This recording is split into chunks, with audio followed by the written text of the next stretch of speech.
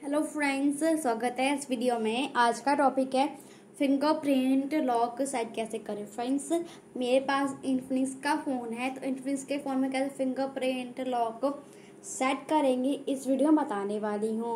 और फ्रेंड्स आप वीडियो देखने से पहले आप मेरे चैनल को सब्सक्राइब कर लीजिएगा और मेरे वीडियो को लाइक और शेयर कर दीजिएगा स्टार्ट करते हैं वीडियो फ्रेंड्स आपको फिंगरप्रिंट सेट करने के लिए। सेटिंग को ओपन करें इसके बाद आपको यहाँ पर ऊपर की ओर स्क्रॉल करना है। नीचे का स्क्रॉल करेंगे, यहाँ पे आपको सिक्योरिटी का ऑप्शन मिलेगा, इस पर क्लिक कर देंगे। इसके बाद आपको यहाँ पर फिंगरप्रिंट का ऑप्शन मिलता है।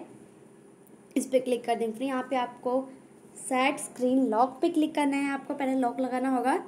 अगर आपने लॉक लगा रखा है तो फ्रेंड्स आपका फिंगरप्रिंट का ऑप्शन आता है। तो मैं पैटर्न लगाना चाहती हूँ लॉक नेक्स्ट पे क्लिक करेंगे, फिर से लॉक लगाएँगे और नेक्स्ट पे क्लिक करेंगे और लॉक लगाएँगे ऐसे. और फिर से इस पर क्लिक कर देंगे. फ्रेंड्स इसके बाद आपको यहाँ पर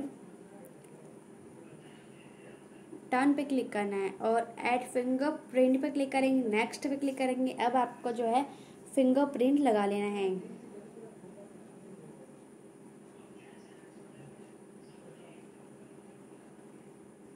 फिंगरप्रिंट हम लगा लेते हैं।